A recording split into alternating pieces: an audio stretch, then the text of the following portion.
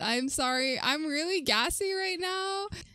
And should I take a, a camera? okay,